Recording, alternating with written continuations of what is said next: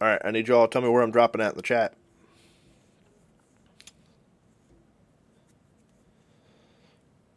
All right, I'm just I'm gonna have to say something controversial. It's gonna get everybody's attention. Who do you think would play Call of Duty Warzone 2.0, what we're playing right now? Well, who would win Donald Trump versus Biden playing this game?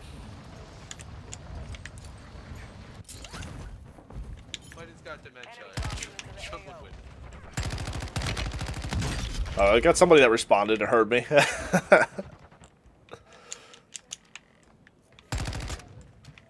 no, don't shoot me. No, no, you're not. Oh, I just, I swear to God, I saw that Gordito guy. I think that's who I killed. It's Gordito. All right, so we got one person that said that they think Trump would win versus Biden playing this game.